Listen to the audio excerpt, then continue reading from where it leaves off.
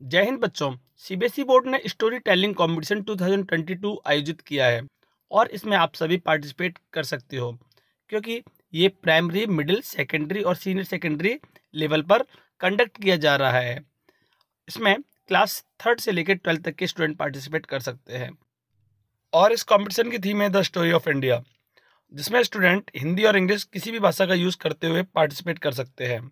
सबसे पहले ये स्कूल लेवल पर कंडक्ट किया जाएगा जो कि 25 फरवरी से और एट्थ मार्च के बीच में कंडक्ट हो रहा है।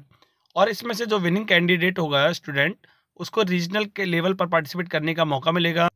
रीजनल लेवल का ये कॉम्पिटिशन एट्थ मार्च से सेवनटीन मार्च तक कंडक्ट किया जा रहा है।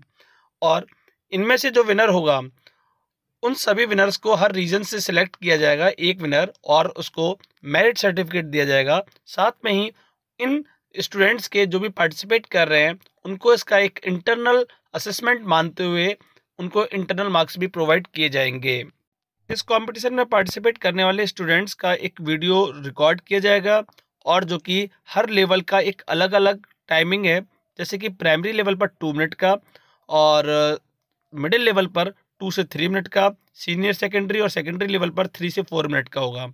याद रहे कि ये टू एम से ज़्यादा का डाटा अपलोड करते समय न हो।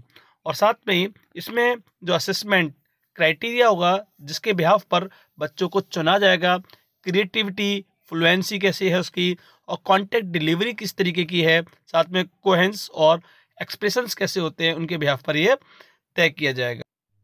और साथ में स्कूल को एडवाइस किया गया कि लास्ट डेट का वेट ना करें, इन एंट्रीज को जल्दी करा लें। और हाँ अगर आपको और ज़्यादा इन्फॉर्मेशन चाहिए तो इस वीडियो के डिस्क्रिप्शन बॉक्स में जाकर के आप दिए गए लिंक पर क्लिक कर सकते हैं।